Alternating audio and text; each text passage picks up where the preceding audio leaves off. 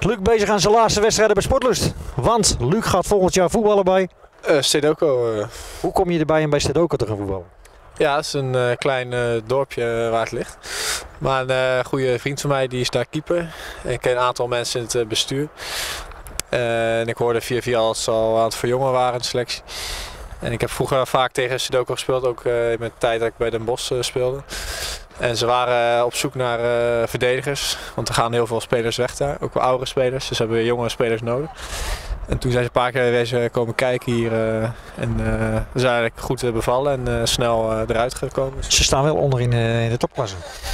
Nou, ze stonden onderin inderdaad. Ze hebben toen na de winststop in één keer bijna 15 punten gepakt. Dus ze staan nu vijf punten boven Lisse.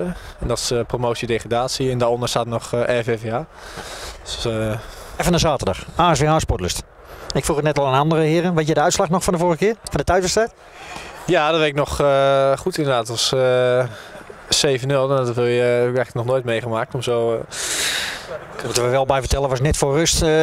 Binnen vijf minuten geloof ik dat ze vier doelpunten maakten. Nou, het was een hele gekke wedstrijd, want het eerste half uur had ik nog wel een goed gevoel bij die wedstrijd. Voetballen deed het aardig en we kregen zelfs kansjes. Maar toen in één keer uh, vier goals geloof ik voor de rust.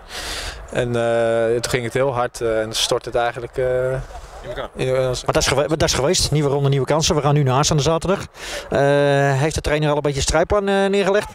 Nou, we hebben net even kort besproken. Het is natuurlijk een goede ploeg. Ik heb hiervoor ook even op de site gekeken. Het zijn allemaal wel oud BVO-spelers. Allemaal de jeugd van uh, Sparta, Willem Excel, Sparta, Excelsior, Dordrecht. Ik heb het gezien vandaag. Ja, dus het is gewoon een hele goede ploeg. En, uh, maar goed, Quick Boys uh, kwamen ook naartoe. En die zaten ook in de flow van 6, 7 overwinningen. En HSWA ook, aardige flow.